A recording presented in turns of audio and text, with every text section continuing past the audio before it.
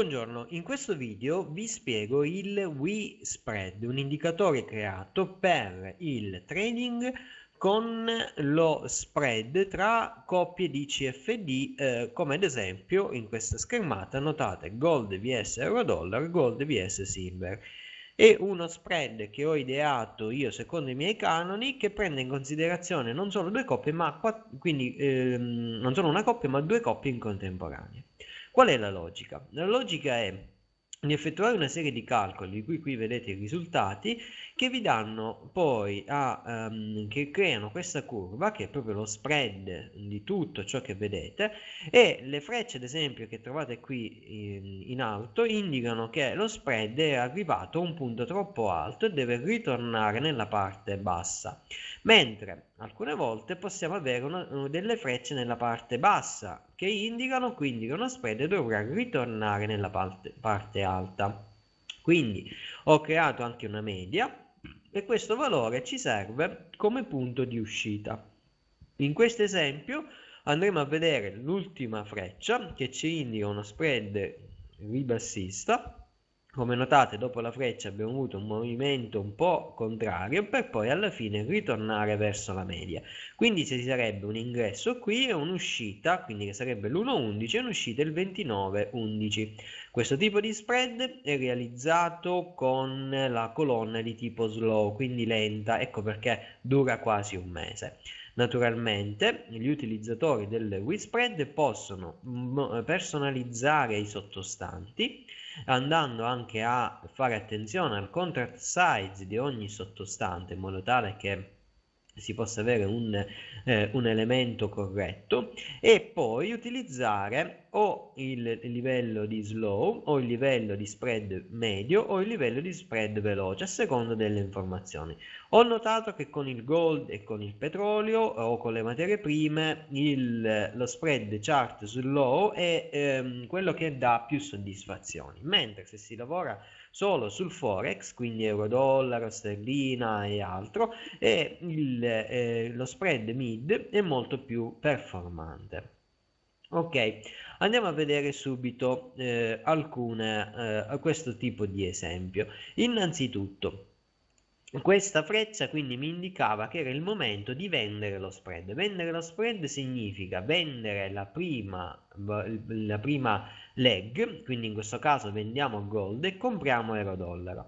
E nella seconda riga faremo la stessa cosa, vendiamo gold e compriamo silver. Se ci fossero state altre valute, quindi avremmo venduto le prime e comprato le seconde. Se invece la freccia fosse stata al rialzo, quindi dal basso verso l'alto, avremmo dovuto comprare la prima colonna e vendere la seconda colonna. Ok? Allora, questo esempio, quindi vendita di gold, io l'ho riportata qui. Queste sono le due date. A questo punto che cosa succede? Togliamo il, mm, l'Ichimoku così non ci confondiamo. Allora, eccolo qua.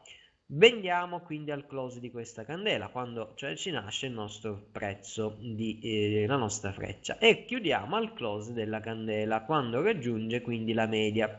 Abbiamo 88 tick di guadagno. Il gold lo dobbiamo vendere per ben due volte perché la prima per la prima primo spread e il secondo spread. Quindi cosa succede? Succede che dobbiamo fare quindi 88 tick per due volte per 8.82 che è il valore di un lotto vedete qui cosa c'è scritto gold un lotto vale 8.82 eh, per tick quindi abbiamo incassato da questa, eh, da questa vendita mm, 1552 euro ok? Perché questo è un valore in euro.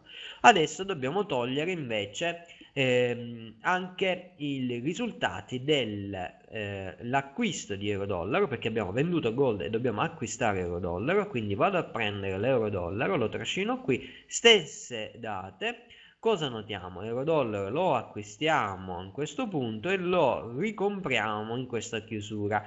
Perdiamo eh, 11 eh, 11 pips. 11 pips in questo caso quanto ci incidono? Ci incideranno quindi prendo un'altra calcolatrice ci incideranno 11 pips per 8.82 per un lotto e 10 106 euro, quindi perdiamo 106 euro, quindi qui andiamo a scrivere meno 106, 1446. Perché questo, perché questo, um, questo movimento? Perché il, ehm, il lotto Erezio è 1,10, quindi significa che un lotto di gold corrisponde a un lotto 10 di euro-dollaro.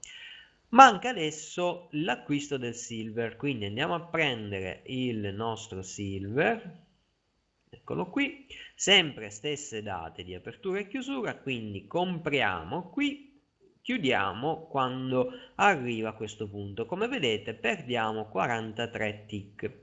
Stavolta i 43 tick valgono 44 euro ogni tick e il lotto da utilizzare è eh, per un lotto di gold è 0,34 quindi nella seconda nostra calcolatrice faremo 43 tick per 44.11 eh, per 0,34 abbiamo perso 644 euro. Che cosa dobbiamo fare? Naturalmente li dobbiamo togliere dalla, dal calderone quindi dalla nostra incasso 644.88 da questo spread sono rimasti 800 euro di profitto.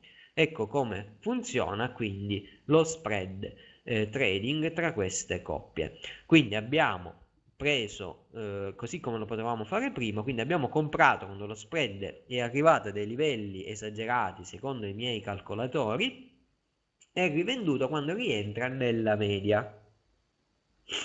Nulla vieta che questo potrebbe ancora scendere, quindi a incrementare il nostro profitto.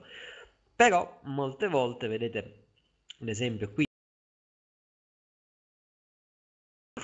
scusate, se ci fosse stato un buy avremmo avuto la possibilità di eh, poter eh, guadagnare molto di più, ma è anche vero che, vi faccio vedere, eh, molte volte raggiunge la media e poi gioca sulla media, quindi preferisco chiudere sulla media e ripartire. Lo spread inoltre si modifica in base al time frame che si utilizza, quindi chi vuole lavorare in H4 può ricercare segnale H4, ad esempio in questa fase non ce n'è, in H1 c'è un buy, c'è stato un buy che non è arrivato alla media ed è ritornato qui indietro, quindi sta soffrendo sicuramente. Significherebbe fare buy di gold, vendita del, di tutto il resto. M30, M15, a volte, ecco va bene, dobbiamo far caricare i dati, però è, è questa la logica. Ehm, ci potrebbe anche essere il segnale settimanale, ma il settimanale ad esempio è da un anno che è quasi piatto, quindi non ha dato segnali. Ecco, questo è lo spread con eh, CFD, materie prime, metalli preziosi e altro. Nulla vieta di usare solo Forex o eh, fare il, il mix di tutto. Grazie per questa piccola attenzione breve attenzione e eh, naturalmente per chi è interessato può eh, richiedere maggiori informazioni. A presto!